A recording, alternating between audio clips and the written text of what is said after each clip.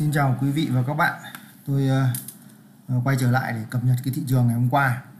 Uh, và uh, đấy, tôi trả lời một số câu hỏi của quý vị và các bạn. Cái ngày hôm qua tôi không làm clip nên uh, uh, clip tổng kết đấy nên rất nhiều bạn nhắn tin hỏi cả về hỏi thăm cổ phiếu nọ cổ phiếu kia rồi hỏi thăm về tình hình thị trường thì Ờ, về cơ bản là, là là là đợt này tôi không có nhiều thời gian. Đấy không có nhiều thời gian. Nên là cũng không ờ, các ờ, các bạn thông cảm. Đấy, tôi cố gắng tôi sẽ đấy nhưng có lẽ tôi sẽ thay đổi là tôi sẽ cập nhật ở cuối phiên để cho quý vị và các bạn có thể tìm kiếm được cổ phiếu tốt để giao dịch vào cái ngày hôm sau. Đúng không? Ở đầu phiên như này thì hơi hơi gấp nhưng mà hôm nay là là, là kỹ thuật ngày hôm qua hơi hơi bận. Nên là các quý vị và các bạn cũng thông cảm cho tôi thì à, cái phiên ngày hôm qua ấy, là một cây nến đỏ. Cái việc đỏ của cái cây nến này này, nó không không quan trọng lắm đâu. Lý do ấy là cái biên độ dao động hẹp. Mà cái yếu tố quan trọng quan trọng ở đây ấy, là cái khối ngoại bán ra ngày hôm qua rất là kinh khủng. Đấy, gần 1.000 tỷ, gần 1.000 tỷ. Đấy, cái khối lượng à, khối lượng tiền rút ra ấy, chứ còn khối lượng cái giá trị tiền bán của người ta là 2.153 tỷ. Đấy cái giá trị bán. Nhưng mà người ta đổ tiền vào mua khoảng à, 1.327 tỷ. Đấy nên là cái khối lượng rút ra khoảng gần 1.000 tỷ chưa đến 1.000 tỷ. Thì uh, nó là một cái dấu hiệu gì đó cũng không tốt đâu. Ờ, dấu hiệu không tốt thì cái ờ, cái mà chúng ta lưu ý này là khi mà mà mà nó chiều lên này, này nó càng gần cái này này thì nó càng rung lắc nó mạnh. Có thể không không đến được đấy đâu. Có thể là chúng ta phải căn vào cái đường ờ, cái đường nó gọi là đường cản chéo đấy. Đấy để tôi vẽ cái đường cản chéo.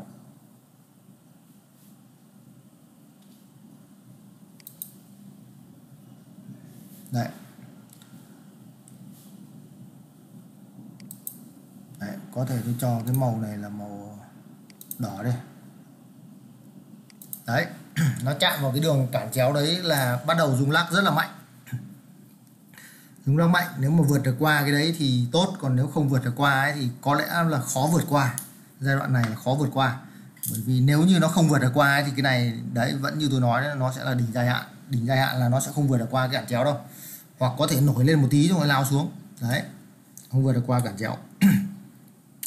Đấy là cái ờ, chia sẻ đầu tiên tôi chia sẻ ngày hôm nay cho quý vị và các bạn. Và chúng ta có thể xem xem cái, cái khối tự doanh ấy.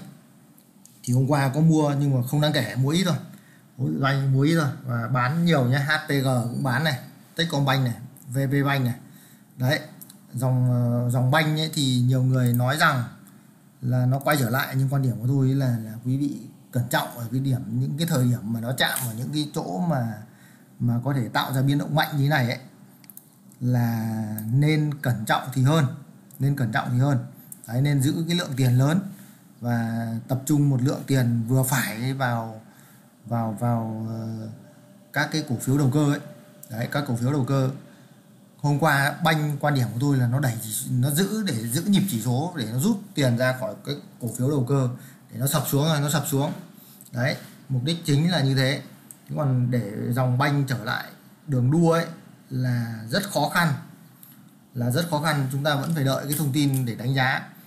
Rất khó thôi, chứ còn nó vẫn có xác suất quay trở lại. Cái đấy thì không không thể biết được nha. chúng ta vẫn chưa có cái thông tin của tháng tháng 8 đấy, chưa biết cái lượng tiền thực sự ở ngoài thị trường nó là bao nhiêu. Và cái quan trọng nhất đấy là cái thông tin về tỷ lệ margin đấy là chúng ta rất là mập mờ, chúng ta không biết rõ đâu. Tôi cảm giác như cái tỷ lệ margin ở cái giai đoạn này nó lại lại có vấn đề đấy. Lại cảm giác thôi, tôi cảm giác như thế thôi, nên là tôi giữ an toàn là chính. Cảm giác như thế thôi, chứ còn tôi cũng không biết được là nó như thế nào. Lý do là cái giai đoạn này, đấy, khối tự doanh với khối nhà đầu tư cá nhân mua nhiều. Các bạn hình dung ra lượng tiền của khối ngoại bán ra này là chủ yếu là nhà đầu tư cá nhân mua. Đây nhá, chúng ta nhìn vào cái cái cái biểu đồ, cái biến động ờ, của tiền nhá, thì chúng ta thấy này khối tự doanh bán ra nhiều chứ. Nó không nhiều như khối ngoại thôi, nhưng bán ra nhiều, cái lượng mua đáng kể gì đâu. Bán ra rất nhiều, nha, khối tự doanh. Đấy, còn khối ngoại thì thôi không nói rồi. Khối ngoại thì nói chung là một câu chuyện buồn, chúng ta cũng không cần phải nói nữa rồi. Thế thì ừ, nhà đầu tư cá nhân tiền lấy ở đâu ra mà nhiều thế? Tiền lấy đâu ra mà nhiều thế? Đi làm thì không làm được, đúng không? Làm thì không làm được, mà lấy đâu ra nhiều tiền thế? Thế thì margin thôi margin tất nhiên là người ta cũng có nhiều tiền. Nói chung đây là ví dụ như nhà đầu tư cá nhân những cái chủ doanh nghiệp nhỏ đấy chắc chắn là cũng có nhiều tiền. Nhưng nó cũng có hạn rồi nó không đẩy được mãi đâu. Nó không đẩy được mãi đâu. Và cái điểm quan trọng nhất đấy là khi những nhà đầu tư lớn nhà đầu tư tổ chức rút ra ấy, người ta sẽ không dễ dàng người ta vào đâu. Người ta sẽ phải đợi người ta đánh giá. Và và một cái lý do nữa mà tôi nói để các bạn hình dung ra các bạn phải cảnh giác các bạn uh, trả lời được cái câu hỏi tại sao cái thằng VHM này cái thằng Vin này nó nó cần một cái lượng tiền lớn như thế để làm gì không? Đấy đấy là câu hỏi thứ nhất. Câu hỏi thứ hai là thằng HPG nó cũng chữ một lượng tiền rất là lớn. Lượng tiền tôi soi lượng tiền của thằng HPG này cũng đang rất là lớn. Hầu hết các doanh nghiệp bây giờ đang chữ lượng tiền rất là lớn. Trừ mấy cái thằng ờ, cổ phiếu kèm nhèm ờ, nhưng mà đã đẩy mạnh. Ví dụ thằng HMC này ấy, là nó gần như là là, đấy, nó lại vay tiền, nó mua nguyên vật liệu đầu vào và tiền mặt, không biết là nó còn nhiều hay không. Nó cũng có tiền mặt đấy, nhưng mà không hiểu không hiểu nó sẽ như thế nào nha. Nhưng mà nó, giá nó được đẩy cao bởi vì mấy nguyên nhân này. Một là lượng cổ phiếu của nó ít, lượng cổ phiếu của nó 60 triệu cổ phiếu thôi, nó không không không nhiều. Đấy, cái cái đấy là cái nguyên nhân chính. Cái nguyên nhân thứ hai nữa ấy là cái việc đầu cơ thép của nó và nó đầu cơ một lượng thép lớn, lượng thép của nó đầu cơ khoảng 5.000 tỷ đấy, tôi không nhớ chính xác, các bạn tự soi lại nha khoảng 5.000 tỷ. Và hiện tại bây giờ ấy, thì cái giá thép vẫn đang ủng hộ. Đấy, vẫn đang ủng hộ. Nên là nó được đẩy mạnh, nhưng đấy, những công ty mà có lượng tiền mặt không dồi dào, không dồi dào nha là câu hỏi là để giữ cho hoạt động liên tục trong giai đoạn tới là khó khăn đấy. Tôi khẳng định là khó khăn. Nói luôn là khó khăn đấy, các bạn cứ để ý những ông chủ lớn, những ông chủ lớn, những người mà có tầm nhìn rất là xa ấy, là tại sao người ta chuẩn bị một lượng tiền lớn như thế để làm gì? Đấy, giai đoạn này, giai đoạn này để mở rộng sản xuất là khó, tôi khẳng định luôn là khó. Mở rộng sản xuất, làm gì có người mà sản xuất, giãn cách xã hội rồi vân vân các thứ, sản xuất làm sao? Đấy ờ, nhưng mục đích chính có lẽ là để thâu tóm rồi để làm gì đấy thì chưa biết nhưng lượng tiền rất là lớn đấy là câu hỏi mà các bạn nên suy nghĩ nhé và xem qua cái chỉ số VN30 ấy, thì VN30 lúc sáng nay tôi nghe sáng nay tôi nghe nói là là là là là cái chỉ số VN30 này nhóm ngân hàng tăng rất là mạnh. Tôi cũng không để ý. Ô, tôi VN30 hết mất rồi. Không xem được. Rồi xin lỗi các bạn. Đấy thì từ mai tôi sẽ làm cái clip tổng kết này. À từ hôm nay luôn. Chiều hôm nay tôi sẽ tổng kết cho các bạn. Và đấy, hôm nay thằng SSI nó là cái ngày giao dịch không hưởng quyền nên là nó kéo giá xuống nhé thằng SSI đấy, hôm nay ờ, đấy tôi lại không không không tổng kết được cái đấy cho các bạn. Thôi được rồi. Không sao có lẽ là các bạn cũng cũng đã biết biết thông tin rồi đúng không?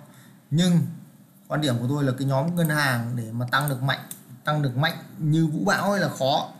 Có thể là nó sẽ bò nó sẽ giao dịch kiểu gì đấy kiểu gì đấy thì nó hấp thụ hết lượng hàng. Chưa biết được, không không, vẫn chưa hình dung ra. Cơ bản là nhỏ lẻ là không không không có đề phòng. Thường là không có đề phòng. Nha đấy, và xem nào. Techcombank này. Đấy. Techcombank rồi CTG này. nếu như các bạn thích lướt lát ở nhóm ngân hàng ấy, thì quan điểm của tôi là một là không ham, hai là chọn một hoặc hai cổ phiếu mà lướt thôi nha tôi tôi không quan tâm nhóm ngân hàng giai đoạn này đâu. Chưa quan tâm, đúng không? tôi sẽ theo dõi, xem tiếp cái thằng HNG nó tình như nào. Đấy, nó lại đỏ rồi. Tôi bận, tôi cũng không theo dõi được liên tục đâu. Nên là rất mong là quý vị của các bạn thông cảm ủng hộ tôi bằng đấy. Nói chung là giai đoạn này là giai đoạn khó đấy. Khó. Cá nhân tôi đánh giá là khó. Tôi xem cái thằng FLC hôm qua.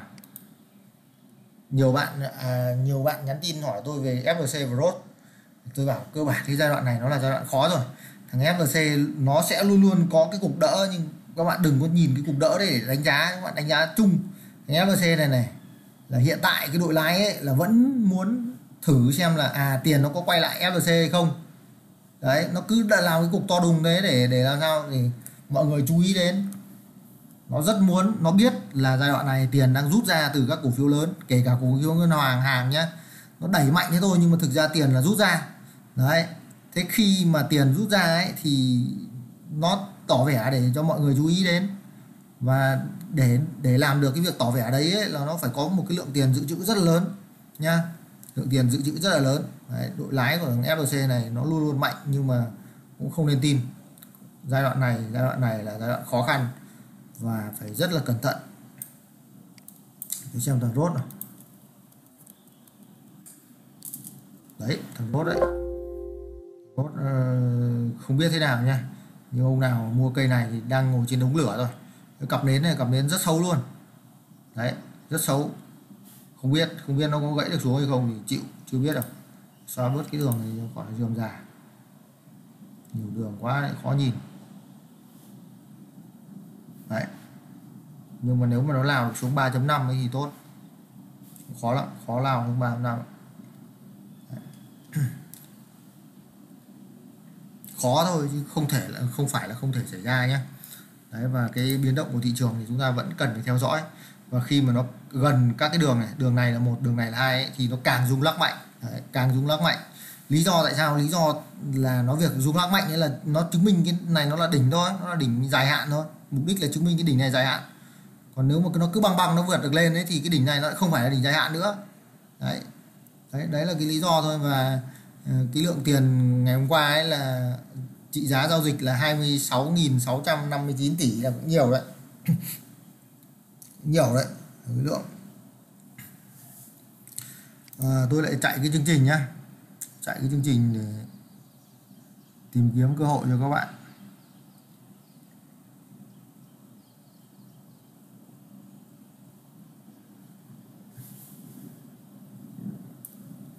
Có một cái điểm là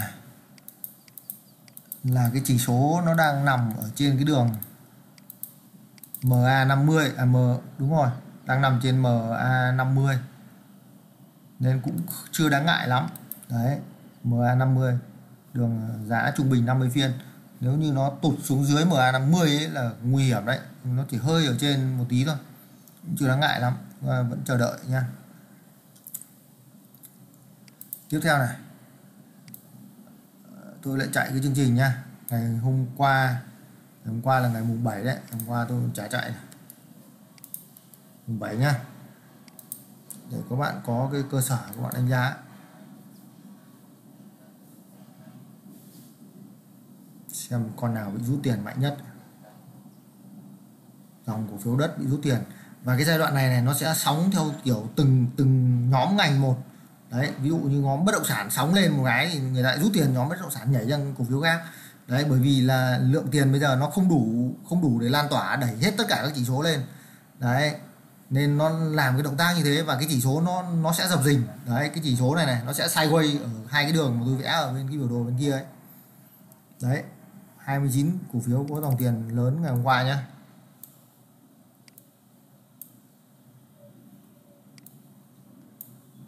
Thứ nhất là HPG này. HPG là bị rút tiền ra đấy nhá. Vừa cây mua xong rồi lại ra SSI này. SSI bán rất là mạnh nhưng lực đỡ cũng mạnh đấy. FLC FLC bị bán rất là mạnh nha. Đây là bán mạnh đấy. Các bạn rất là cảnh giác thằng FLC MVV DIG DIG thì ờ, bị bán tháo rồi. HSG cũng bị rút tiền ra. Rose SHB Đấy, các bạn hình dung nha nha bình thường này nó giao dịch ừ, nhỏ nhỏ này nhưng tự nhiên có cục to đùng rút tiền ra như này là xong rồi. Đấy cứ bán một cục thì cái, cái, cái, cái, cái cây này có nhiều khi là chỉ là nhỏ lẻ mua thôi. Bởi vì bởi vì là cái cái đội mà nó đang cầm cổ phiếu nhiều ấy hoặc là đang cầm tiền nhiều ấy thì nó sẽ quan sát nó quan sát nó đi theo cả tín hiệu của thị trường chung nữa nha SHB này. ITA này ITA bán tháo mạnh này. KBC KBC bò từ đây lên cũng được nhiều nhiều phết đấy cũng được ờ, 30 phần trăm bò từ dưới này lên. Tôi không tham gia cái giai đoạn này. POW bán rồi SCR bán mạnh rồi. GEX Fit Đấy, cái thằng Fit nó lại STB SHS EGC Techcombank đấy thằng à, VHM VHM cũng bị uh, cái giai đoạn vừa rồi bị bán mạnh nhưng mà cái lực mua cũng rất là lớn không hiểu nha. Chúng ta vẫn chưa hiểu cái vùng cái vùng này thì chính xác chính xác là cái vùng phân phối của VHM rồi nhưng mà tôi đang chưa giải được cái bài toán là ai là người mua. Nếu mà nhỏ lẻ thì nhiều tiền rất nhiều tiền đúng không? tại sao nhiều tiền như thế? Đấy hoặc là tổ chức ngầm nào đấy thì chúng ta vẫn chưa biết. NKG cũng bị bán mạnh rồi. Techcombank Techcombank thì lại à, Tiên Phong Bank thì lại mua nhá. Là cây mua. Đấy, Tiên Phong Bank thì không biết là có thông tin gì tích cực. L, DLG DLG bị bán mạnh rồi. KHB ASB bị đẩy giá lên trên này và bị cái cây này vẫn đẩy giá xanh. H CTG VVT VVT bị bán mạnh HQC VND VP Bank. Và BCG BCG thì hôm qua là một cái phiên bán mạnh nha, cái vùng này khả năng cao là đang phân phối rồi. Đấy đấy là những cổ phiếu có dòng tiền lớn là chúng ta có 29 cổ phiếu nhá. Theo cổ phiếu tăng giá mạnh ngày hôm qua nó như nào.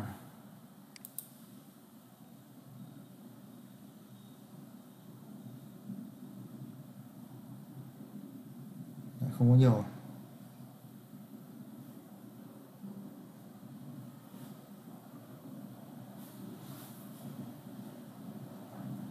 Hai hai cổ phiếu nhá. TMS này. Đấy TMS từ cái phiên mua mà tôi cho các bạn đấy nó đang tăng rất là mạnh. TMS TGG ui rồi kinh khủng không? TGG nhá. Nó, cổ phiếu này nó tiết cung được, tiết cung được. Đấy, các bạn thấy là nếu như mà cái giai đoạn này này, sau đó cung nó mà tiết được ấy, thì là nó sẽ tăng, nó sẽ đẩy lên mạnh. NVB VCR VNL TCO BII APG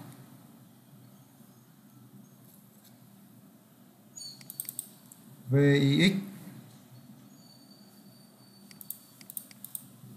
VIX hôm qua, tăng mạnh nha. VX là nó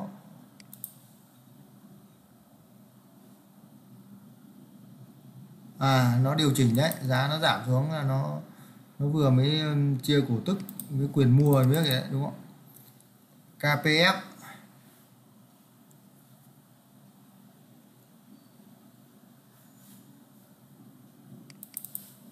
VTD SPI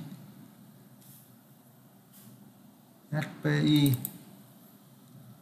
EVF DAH KVC QNC TNT PGT đấy thằng PGT kinh không?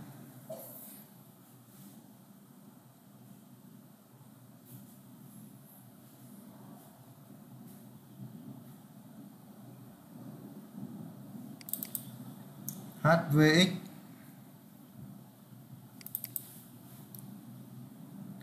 KVS SGM và cuối cùng là KHB đấy, quan điểm của tôi giai đoạn này vẫn tập trung vào những cái cổ phiếu vừa và nhỏ. Là chính. Đừng có ham. Đừng đừng đừng có ham quá nha và giải trí là chính thôi. Giải trí là chính, vẫn kiếm được tiền. Và cuối cùng thì tôi ờ, gửi lời cảm ơn đến tất cả các bạn đã chuyển khoản cho tôi ngày hôm qua các bạn chốt lời ngày hôm qua và chuyển khoản cho tôi một ờ, lượng tiền tôi nghĩ như thế là cũng rất là hài lòng. Tôi cảm ơn các bạn. Và hy vọng là trong trong cái tuần này thì sẽ có những cái niềm vui mới, nha. Ờ, một cái nữa là tôi muốn trả lời các câu hỏi có rất nhiều bạn đấy. Nói là em là F0 em không biết lọc cổ phiếu như thế nào, vân vân. Thì ờ, tôi đã làm cái việc đấy giúp các bạn rồi. Các bạn chỉ ngồi đấy, ví dụ ở trong cái danh mục mà tôi cho các bạn, vừa cho các bạn xong này, cái danh mục này quan trọng hơn cái danh mục dòng tiền nhá. Danh mục dòng tiền kia ấy, nó cũng có cái điểm quan trọng riêng. Đấy, nhưng cái danh mục này này, ví dụ ở đây có 22 cổ phiếu thôi thì các bạn ngồi các bạn phải suy nghĩ cho tôi xem bạn chọn ra được là năm cổ phiếu, năm cổ phiếu có đồ thị tốt nhất và làm như tôi nói đấy. Về mặt đồ thị các bạn cũng phải học một chút để biết nhìn đồ thị cổ phiếu nào là tốt, cổ phiếu, đấy, năm cổ phiếu thì đầu tiên là loại dần thôi. Loại đầu tiên là là trong danh mục 22 này, các bạn loại năm cổ phiếu ra là không đụng vào. Loại tiếp, còn ờ, bao nhiêu còn ờ, lại loại tiếp. Xong rồi loại tiếp còn 10 cố gắng làm sao đấy, chỉ còn 5 cổ phiếu thôi và các bạn mua trong 5 cổ phiếu đấy là các bạn sẽ thành công, nhá.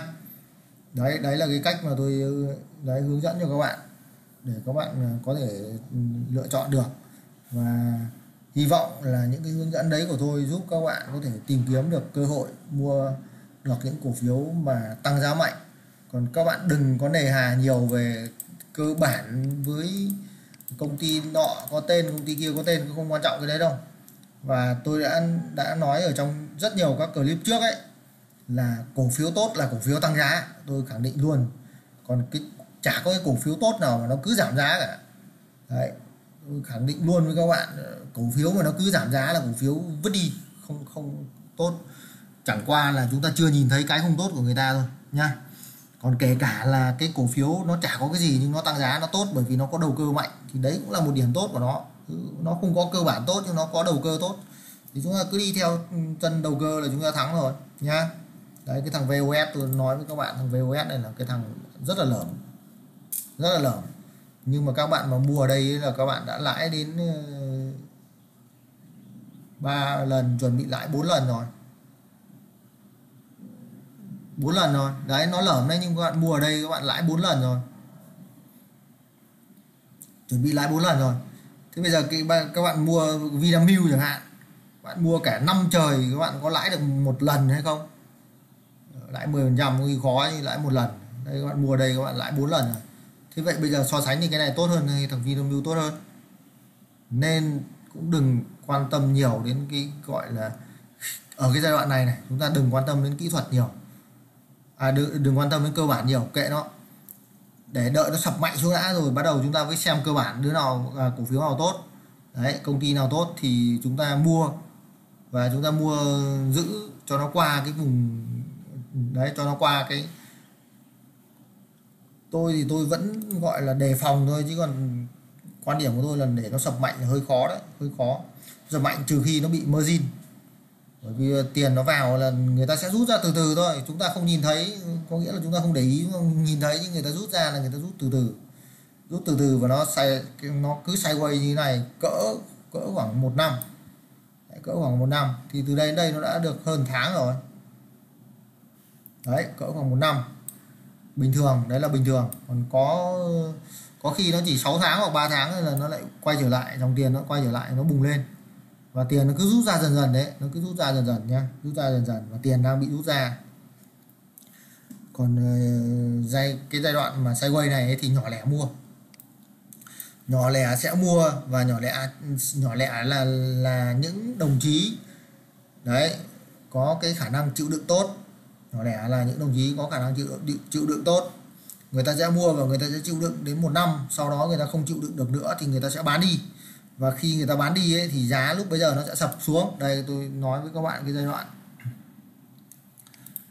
Tôi ờ, tôi dành những lúc tôi rảnh rỗi là tôi hay ngồi tôi xem đồ thị. Tôi ờ, tôi xem để tôi hình dung ra vấn đề rồi đây các bạn hình dung nhá. Đây này cái giai đoạn mà nó tăng mạnh là trước đây này. Đấy tăng mạnh xong đến đây này, là đấy, nhà đầu tư lớn, nhà đầu tư tổ chức, người ta rút tiền ra. Khối tự doanh rút tiền ờ, khối tự doanh thì không rút tiền ra mấy đâu. Cái khối tự doanh ấy, cũng là tổ chức, nhưng tổ chức bình thường thôi. Nó là các công ty chứng khoán tự doanh thôi. Nó cũng, nó sống bằng cái nghề giao dịch chứng khoán nên là và xui người khác giao dịch chứng khoán nên là người ta cũng cứ mua mua bán bán. Nên chúng ta, cái khối tự doanh nhà chúng ta cũng đánh giá, nhưng đánh giá vừa phải thôi. Đấy. Thì ờ, đây nhá, hai cái đường này là một năm.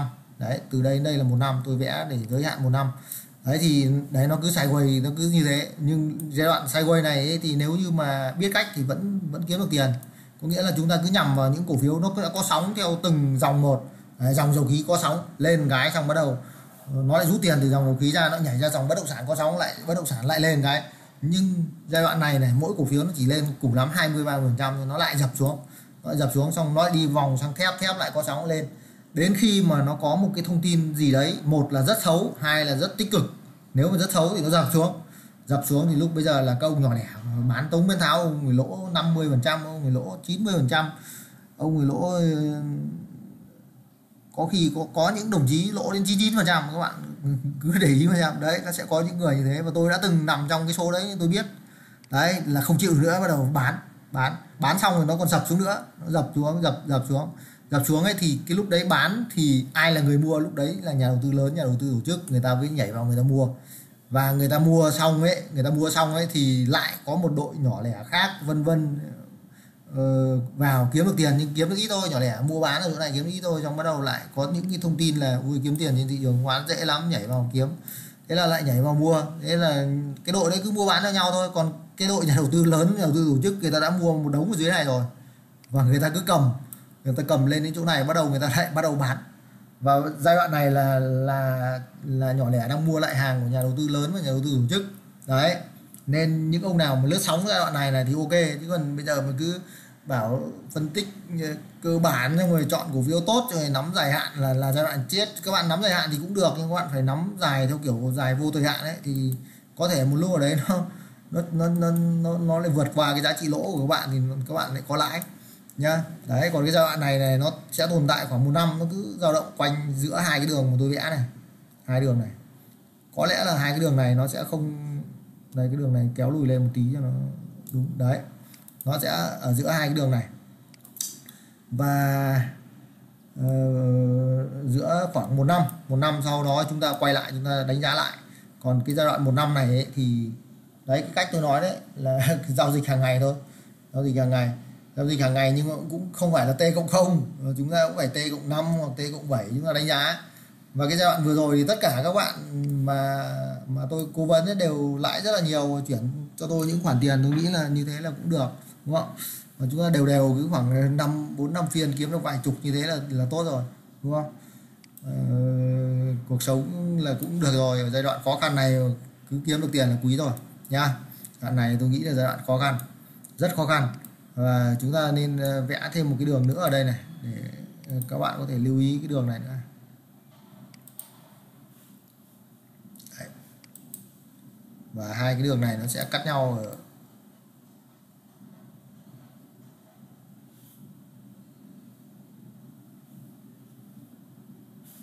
Đấy. Nếu mà nó dao động như thế này đến chỗ này thì có thể là mua được, nó cứ hẹp hẹp dần như thế này thì ok. Thì chúng ta lại tính đánh giá khác còn nếu mà không ấy, nó không vượt được cái này này, mà nó dao động to ở quanh này này, hoặc nó vượt nhưng mà nó không lên được qua cái đường này thì nó lại có một cái kiểu khác, nhá. Và sắp đến giờ của phiên giao dịch mới rồi, tôi tôi cũng có những cái chia sẻ như thế thôi. Còn ờ, chúc các bạn là giữ được cái tài khoản của mình an toàn, giao dịch thành công, kiếm được nhiều lợi nhuận. Ờ, quan điểm của tôi là an toàn vẫn là trên hết, nhá. Các bạn cứ hình dung ra là chúng ta còn tồn tại thì chúng ta còn kiếm được tiền còn để cái sự, đấy, một là tài khoản không còn nữa, hoặc là về liên quan đến đến bên bản thân đấy nó có vấn đề thì chúng ta sẽ không kiếm được tiền nữa, nhá. Nên chúc các bạn bình an và giữ tài khoản an toàn. Đấy là cái biện pháp tốt nhất để chúng ta có thể kiếm được tiền một cách lâu dài. Và kiến thức là một cái thứ chúng ta phải tích lũy dần dần, chúng ta không giàu ngay ở đâu. Hôm nay TV đấy, nó lại vừa nói về cái câu chuyện tôi chả hiểu làm sao có rất nhiều ông có rất nhiều tiền mất hàng tỷ trong vòng có 6 tháng mất đốt hàng tỷ đồng vào chuyện đào coi bitcoin. Ông cứ nhảy lên sàn chứng khoán mà đánh bạc có khi ông có khi phải mất rất nhiều năm mới hết một tỷ. Đấy, ví dụ thế. Tất nhiên là, là là đấy là những ông mà mà mà cũng phải ấy cơ bản một tí đúng không? Còn ờ, nếu không ấy thì nên chọn một người nào mà người ta tư vấn cho có uy tín người ta tư vấn cho thì tôi khẳng định là kiếm được tiền hay không ấy, thì tùy tùy từng giai đoạn và tùy từng năng lực của từng cái ông tư vấn. Nhưng cái khả năng mất nhiều tiền đấy là không mất đâu, yên tâm đi. Người ta đã tư vấn được, người ta đã dám đứng ra tư vấn là người ta cũng phải có cái khả năng gì đấy nha. Đấy, và đấy, cái cậu mà tôi tư vấn, chia sẻ với tôi đấy là trước khi gặp anh là em có vài hôm thôi, em vài vài hôm, một tháng, vài hôm, cậu cũng đăng ký kênh này, các bạn hình dung thế mất trăm rưỡi đúng không? Vừa mới gặp anh có vài hôm thôi em hôm qua mà không sập ấy thì chắc là kiếm được nhiều nhưng mà hôm qua nó sập làm hạn chế đúng không? Nhưng đấy cũng kiếm. Tuy nhiên nhé nếu ngày hôm qua ấy, các bạn mà không bán được ở sớm ấy các bạn không bán được ở sớm thì hôm nay không phải phiên bán đâu. Nha hôm qua bán được ở sớm rồi ấy, thì hôm nay canh. Canh có thể là mua ở cái giá thấp giá thấp hoặc là để ngày mai nha đấy hôm nay có thể là có dao động cũng chưa biết được nó có lên hay không, hoặc là nó dập xuống nha nhưng những cổ phiếu riêng lẻ ấy, đấy, mà có đội lái mạnh hoặc là vân vân, là nó nó nó có thể là ở giai đoạn này sẽ kiếm được tiền nha và hẹn gặp lại các bạn ở cái clip tổng kết phiên giao dịch ờ, buổi chiều hôm nay. Ờ, chúc các bạn đầu tư thành công.